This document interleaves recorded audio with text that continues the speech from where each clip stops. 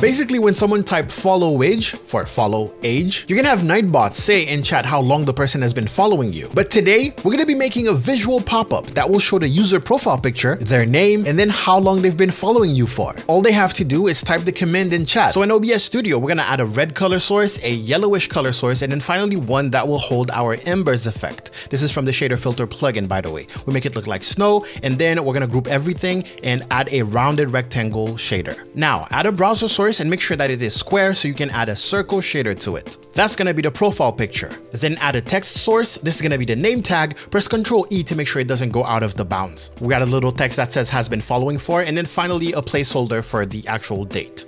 Now we open up StreamerBot and we create a new action.